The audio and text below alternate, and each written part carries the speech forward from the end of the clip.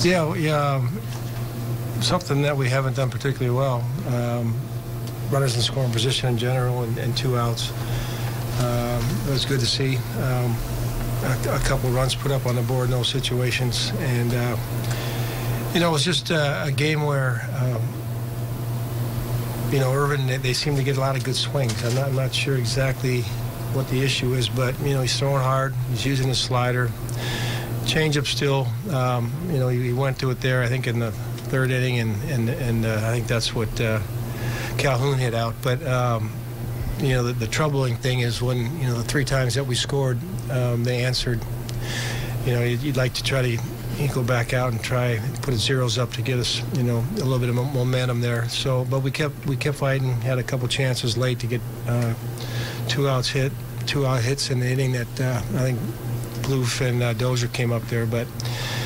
Uh, their bullpen did a nice job, and uh, um, they hung on for a one-run win.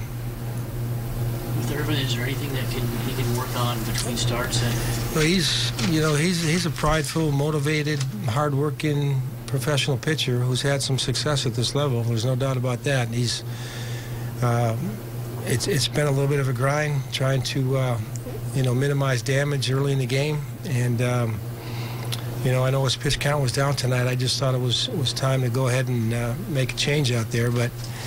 Um, he'll keep working. Um, I don't think it's something that's you know, major in terms of having to do anything drastic. It's just kind of refining. It seems like when he makes mistakes, they're getting hit hard.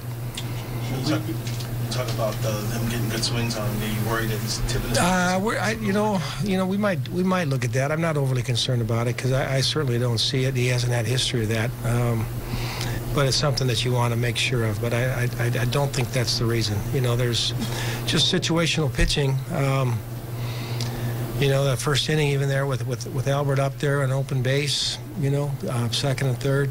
And, uh, you know, we know Cron can hit too, but, you know, you got an open base to an MV, to a Hall of Fame player and you throw a slider down the middle, you know. So it's just, you know, keeping that focus. You know, we're not going to execute every pitch, but, um, you know, it's just something that you, you, you got to be aware of certain situations.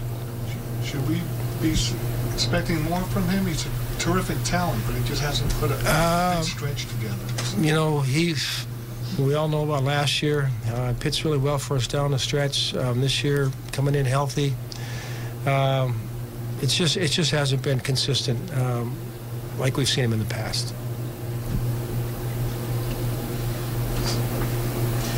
Can you talk about uh, Dozier's role in that double play, getting Cron at first, fly ball to right? Uh, didn't see it. Was there a deke there? Yeah, it looked Yeah, well, you know, I, I, these guys play the game right. Uh, you know, you, at any time you break on a pitch, you, you try to find the baseball. So I, I, I don't know if he was fooled as much as he thought maybe he had enough time to recover. You know, Max was aggressive with the throw and threw it on the money. And Buxton's throwing in that was his first outfield assist this year, but how, do you think that sometimes people underestimate his arm?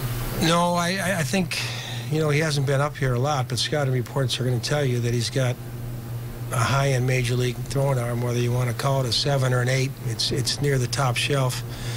Um, you're not going to see Trout get thrown out too often on a base hit up the middle, even though the ball was scorched. Um, just an aggressive to the ball.